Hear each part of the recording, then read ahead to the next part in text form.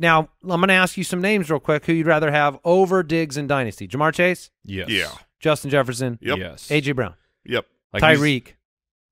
I'll take Diggs. That feels like uh like Yeah, saying that- something new out loud. Yeah, eh, that has swapped with the with him going to Tua. You think he'll have fewer touchdowns? I like it. oh, Mike! I thought I was gonna get more trash. Oh, you, got to stop hitting me with the fired dad jokes.